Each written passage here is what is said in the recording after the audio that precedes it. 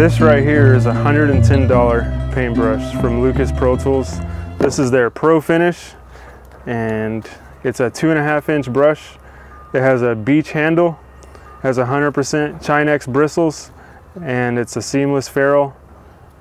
And it's just a really nice looking brush. But the question is, it looks really nice, but the question is, is it worth $110? So $110 for a paintbrush, you may be thinking, who in the world would even consider that?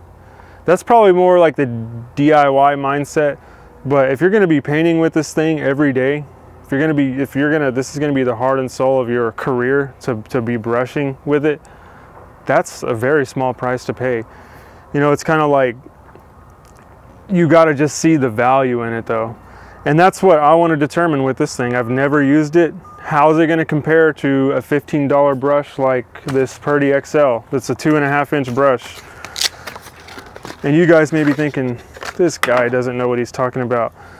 He's a trim carpenter. Ever since I've been a finished carpenter, from that day I have also been a painter and it's mostly been brush painting. I just recently, within the last few years, got into airless spraying hopefully going to get into HVLP, HVLP very soon because I've talked to a lot of really pro guys and they say HVLP is where that car door finish is at that you really want to get. I've probably painted, I would say tens of thousands of linear feet of trim in my little seven year career here.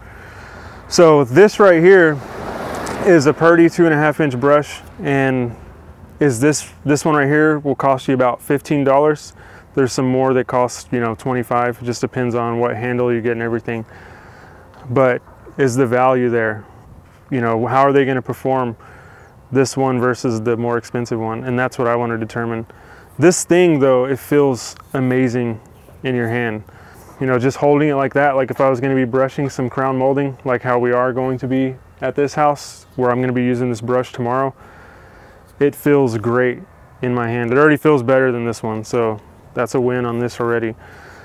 But you know, that's going to be the consumer's that's going to be the consumer's decision to make. It'd be nice to get your hands on one and feel it before you can before you buy it and try it out, but obviously there's no place where you can do that. You're just going to have to take the plunge and spend the $110 and use it. So will it be worth it? We'll find out. And just while we're talking about brushes, this brand right here, this is the cheapest brand of brush for the best price that I could ever find. This is a brand called Bestt Liebco or however you say that. But the bristles on this thing are amazing. They're super soft.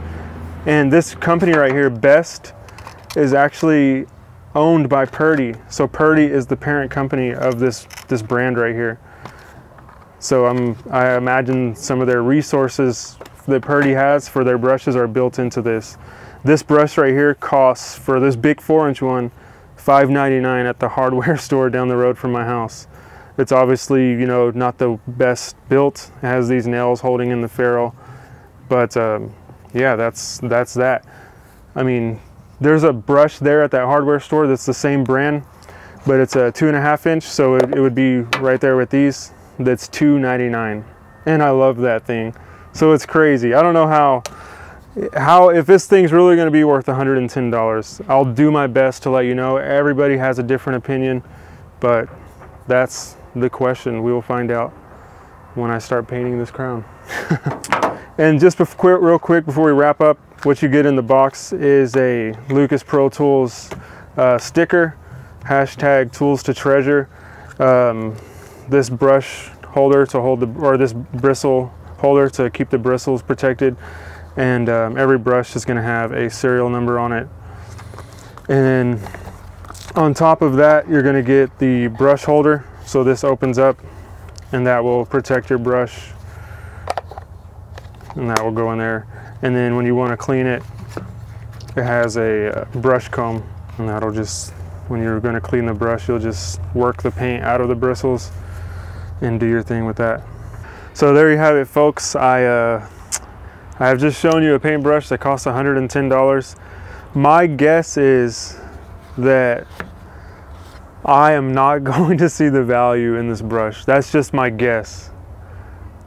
And just being completely honest with you, we will find out tomorrow when this trim is ready for paint. I'm actually gonna use this brush and let you know what I think. So I'll post that video tomorrow when I actually use the brush and we'll see how it turns out. So thanks so much for watching this video and we'll see y'all next time. Take care.